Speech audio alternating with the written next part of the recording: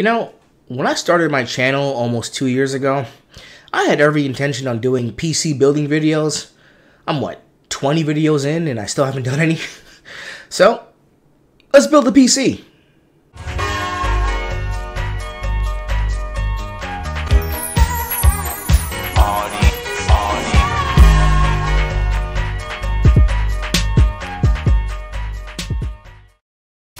Welcome back to the channel guys, this is AJ. So yeah, I finally decided to build a home theater PC to add to my collection of rigs, expanding my PC family one by one, because I mean my current rig is oh so very lonely.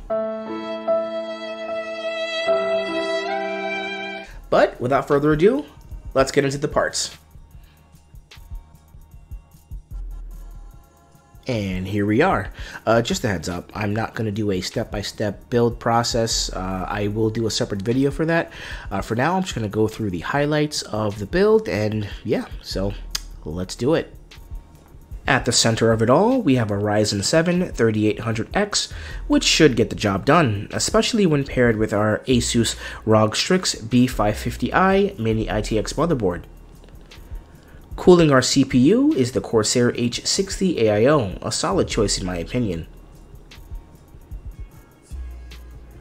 For the RAM, we have a 32GB kit of 3600 speed G.Skill Trident Z Royal, one of my favorite DIMM designs.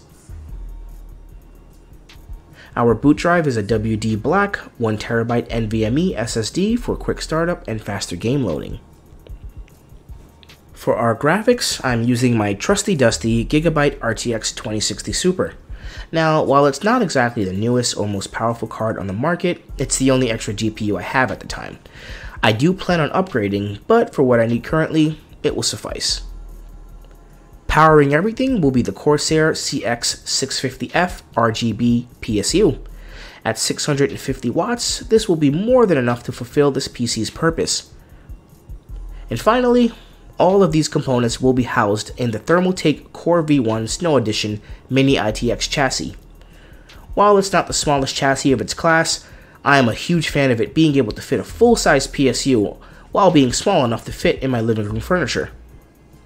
Quick note, this case does come with a 200mm fan, however I will be swapping that out to properly mount the AIO's 120mm fan and radiator.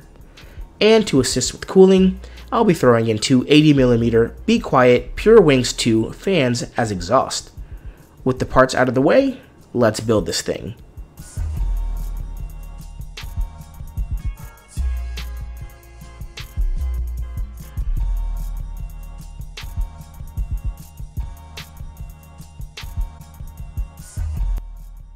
Fun fact, the CPU didn't sit in the socket correctly, and that was due to one pin being slightly bent.